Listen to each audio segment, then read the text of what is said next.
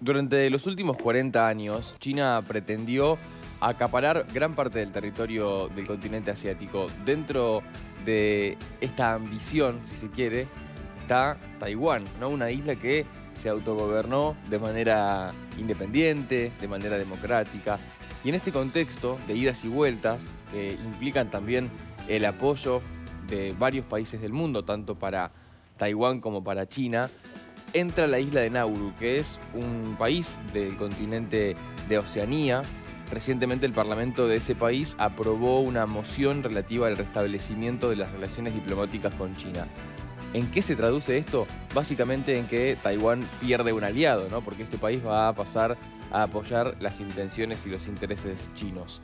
Anunciaron que reconocería el principio de una sola China y rompería las llamadas relaciones diplomáticas con Taiwán. Este país ya no desarrollaría relaciones oficiales ni intercambios con Taiwán.